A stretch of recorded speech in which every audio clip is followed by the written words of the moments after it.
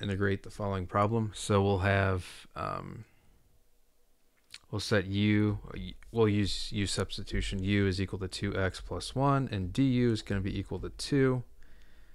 Um, that's not what we have.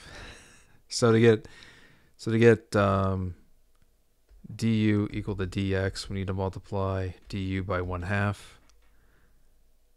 I believe. Yep, that's right. So we'll have 1 half. We can put our uh, constant in, to the left of our to our integral sign. u raised to the negative 1 half du. So integrate 1 half, and then u raised to the negative 1 half plus 1 over negative 1 half plus 1 plus c. So 1 half u raised to the 1 half over 1 half. Same thing as 1 half times 2 u raised to the 1 half plus c. These cancel out, and we're left with um,